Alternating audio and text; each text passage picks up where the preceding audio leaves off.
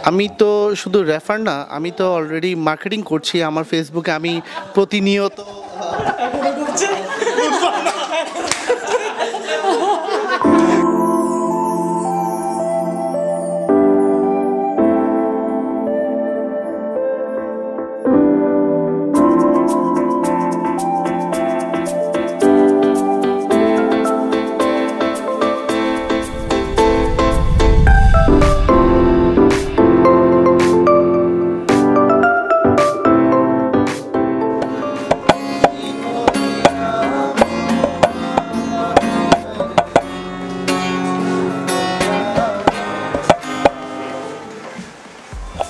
Thank you so much আজকে আমরা এখানে গসিপ করব। সেই টপিকসটা হচ্ছে আমরা আগে কেমন ছিলাম এখন কেমন আছি কার দিন কেমন যাচ্ছে এইসব ব্যাপারগুলো নিয়ে একটু আলোচনা করব। ভাই ব্রাদার্সরা কোথায় কীভাবে আছে যারা গিয়েছে এখান থেকে যারা চলে গিয়েছে তারা কেমন আছে এই অবস্থা? আ আসেন আসেন আসেন। বসে যান। বসে যান।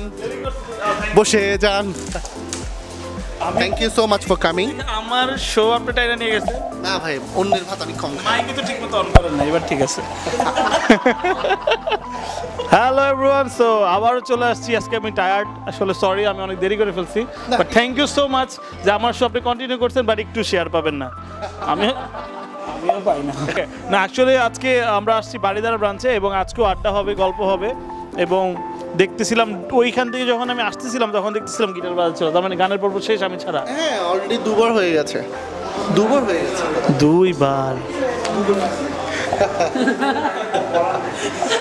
সো আজকে আমি একটু তাদের সাথে পরিচয় ভাইয়ের নামটা? মাহিন। মাহিন ভাই কি করেন? স্টুডেন্ট কিসে পড়াশোনা করতে সাউথ ইস্ট ইউনিভার্সিটি ভাইয়ের নাম? সৌরভ। পড়াশোনা কি করেন? ডিটেলস বলে আমি তিতুমির কলেজে অনার্স ফার্স্ট ইয়ারে সোসিওলজিতে ওকে ভাইয়া? আমার নাম নাহিম আমি ইউএইউতে পড়ছি সেকেন্ড সেমিস্টার সাবজেক্ট কি? বিবিএ গুড ভাইয়ের নামটা? আমার নাম হচ্ছে মিজান রহমান মিশুক। আমি বিপিএক্স ইলেকট্রনিক্সের কান্ট্রি ডিরেক্টর হিসাবে আছি। এই এখানে এই বেশ ভালো আছি। সো আপনার এখানে কে কতদিন?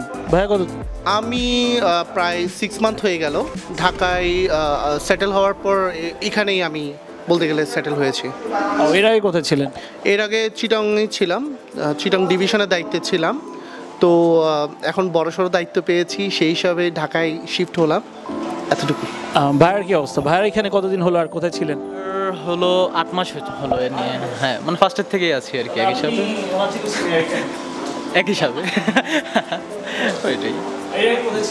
এর আগে কুমিল্লেই ছিলাম? মানে ভার্সিটি ওঠার পরে ফার্স্ট এদিকেই ফার্স্ট থেকে। আর আপনি?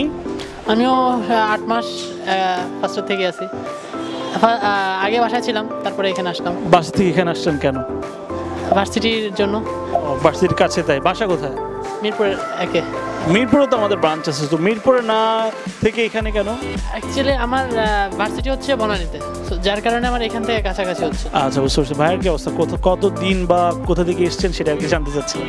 আমার বাসা হচ্ছে রংপুর। আমি ঢাকায় আসার পর থেকেই এখানে থাকি সুপার হোস্টেলে। এই ব্রাঞ্চটা যখন শুরু হয়েছে আমি তখন থেকে আসছি আচ্ছা আমি আপনার প্রশ্ন করি। আপনি তো একটা কোম্পানি কান্ট্রি ডিরেক্টর হিসেবে আছেন অ্যান্ড এটা অনেক বড় একটা রেসপন্সিবিলিটি সেটা আমরা বুঝতেই পারি যেহেতু কান্ট্রি ডিরেক্টর সো আপনি তো চাইলে একটা বড় বাড়ি নিয়ে থাকতে পারতেন বা একটা ফ্ল্যাট নিয়ে থাকতে পারতেন। Why you choose super hostel Uh, actually, uh, when I uh, came here, my management told me that, uh, okay, uh, আপনারা একটা ফ্ল্যাট নিয়ে নাও ওকে সো আমি যেটা চিন্তা করলাম যে আমি যদি একটা ফ্ল্যাট নিই তো অবশ্যই আমার অনেক responsibility so whole day I have a lots of work তো আমি সারাদিন কাজ করে এসে আমি এখানে আমার খাবার প্রিপারেশন নেওয়া আমার ক্লথস ইয়েগুলো ওয়াশ করা তারপর হচ্ছে একা একটা এনভায়রনমেন্টে থাকা, এটা আসলে খুবই একটা মানে অ্যাম্বারাসিং সিচুয়েশনস তো একটা ফ্যামিলি থেকে উঠে আসা, একটা অ্যালোন ঘর থাকে, আসলে এটা কমফোর্টেবল ছিল না।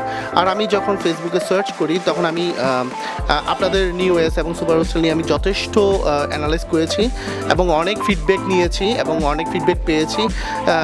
অনেক ভালো ভালো বেসিক যে ফ্যাসিলিটিস আছে, ওগুলো আমি দেখলাম যে অ্যাকচুয়ালি রিয়েলি ওয়াও আমি তখন কমফোর্টেবলি তখন কমফোর্টেবল ফিল করছিলাম তখন থেকে। তখন আমার ফ্যামিলির সাথে আমি কনসার্ন করি। তখন আমি চিন্তা করছিলাম, না, এটাই আমার জন্য বেস্ট তখন আমি যখন ঢাকায় আসি, তখন আমার কোনো এখানে বা তেমন রিলেটিভ বা তো ফ্রেন্ড সার্কেল তেমন ছিল না। যখন আমি এখানে হোস্টেলে আসি, সবার সাথে মিশি এটা একটা ফ্যামিলির মতো হয়ে গেছে। আমার অফিস শেষ করার পর, আমি এখানে টোটালি নিজের শৈশবকে খুঁজে পাই। অনেস্টলি বিকজ আমি এখানে মিউজিক করতে পারি চিল করতে পারি গসিপ করতে পারি। বিভিন্ন কেরিয়ারের লোকজন আছে ওদের সাথে এক্সপিরিয়েন্স শেয়ার করি অনেক কিছু জানা শোনা যায় অনেক কিছু হয়। এ আপনাদের সাথেও মিলামিশা হচ্ছে ভালো এক্সপিরিয়েন্স হচ্ছে তো সব কিছু মিলে আমি খুব ভালো আছি। ওকে আপনাকে মানে অনেক বেশি বেশি ফ্যাসিলিটিস দেয় নাকি সুপারস্টার যে আপনি এত মানে প্রমোশনাল কথাবার্তা বলতেছেন আমরা কিন্তু আড্ডা দিচ্ছি।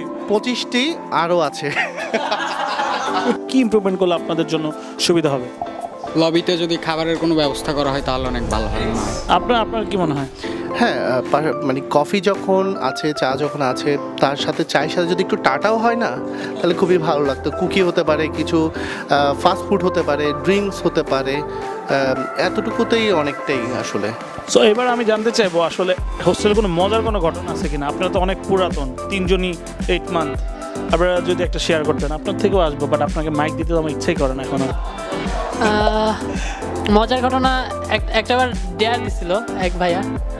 তো মানে আমাদের রুম থেকে বারান্দা থেকে একতলা বারান্দা থেকে জামা খুলে লবিতে এসে বসতে হবে। দেন দোকানে গিয়ে একটা সিগারেট দিয়ে এনে তার হাতে দিতে হবে। না না শুধু জামা ভাই। হ্যাঁ দেন এটা করছিলাম আর কি। কমপ্লিট করছিলাম। হ্যাঁ। না কিন্তু আসলে ব্যাপারটা হচ্ছে কি ডেয়ার দিছিল পাঁচশো টাকার ডেয়ার দিছিল। কিন্তু ডেয়ার কমপ্লিট করার পর ভাই টাকাটাই দিল না। এই ভাই আশেপাশে আছে নাকি? না ভাই। তাহলে ঠিক আছে। সো ভাই একটা মজার কোনো এক্সপিরিয়েন্স আপনি তো বললেন যে খুব মজা করেন। এখন কাহিনী কি মজা করেন আসলে? আমার প্রতিটা রাতই সুপার হোস্টেল আসলে মজার একটা রাত হয়। দিন হয় না? দিনটা আলাদা ব্যাপার। আগে রাতের কথাটাই বলি। আমার নাম বলতে যাচ্ছি না। আমার এমন রুমমেট আছে চাকরি থাকবে না নাকি নাম বল? চাকরি আপাতত আমারটা থাকবে কারণ আমি ওর এমপ্লয়ি না। তো যেটা হচ্ছে প্রতিদিন রাতে সে নিজে থেকে কথা বলে। তো মাঝে মাঝে ঘুমিয়ে বলে চোদ্দ চোদ্দ চোদ্দ চোদ্দতে গিয়ে ও ওর মোবাইলটা পাথর মনে করে মেরে দিছে, পরের দিন দেখেছে ডিসপ্লে ভাঙা।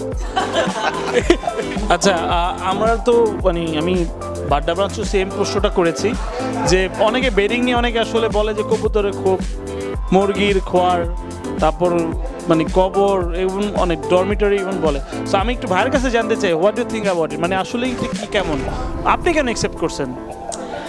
আই থিঙ্ক এটা তো মানে ভালো স্পেস মানে আমি ছোঁয়ার পরেও আর অনেক জায়গা বাকি থাকে। আর মুরগির খুব আমার কাছে মনে হয় না। বা ভালো ইয়া এখন যার এক্সপেকটেশন যেরকম মানে যে যেরকম অভ্যাস করে আসছে এরকমই। কিছুদিন থাকলে অভ্যাস হয়ে যাবে। আপনার এখানে রেফার করলে গিফটের ব্যবস্থা আমি দেখলাম। ভাইয়া কয়জনকে রেফার তিনজনকে। ভাইয়া? আমি একজন কি করছি। আর আপনি? আমি তো শুধু রেফার না আমি তো অলরেডি মার্কেটিং করছি। আমার ফেসবুকে আমি প্রতিনিয়ত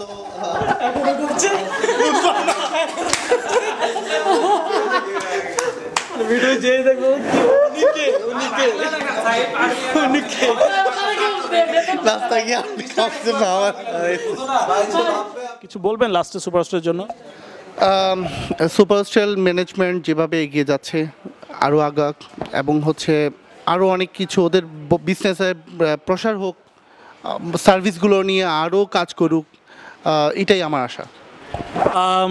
আর যদি কেউ আপনাদের সাথে সরাসরি মিট করতে চায় যে এরা যে এত কথা বলল মানে আমিও আসলে ডাউট ফিল করতেছি যে এত কথা বলল আসলে সত্যতা তো যাচাই করার দরকার। তো তার আগে আপনার সাথে মিট করতে পারবে? হ্যাঁ একটা সত্য কথাই বলব আসুন দেখুন বুঝুন তারপর উঠুন। ধন্যবাদ। সো আমরা এখন চলে যাচ্ছি নেক্সট টাইম আবার আসব কোনো একটা ব্রাঞ্চ নিয়ে এবং তাদের মেম্বারদের সাথে কথা বলব গল্প করব আড্ডা দেবো। তো টিল দেন সবাই ভালো থাকবেন টেক কেয়ার আল্লাহ হাফেজ। কিছু বলবেন?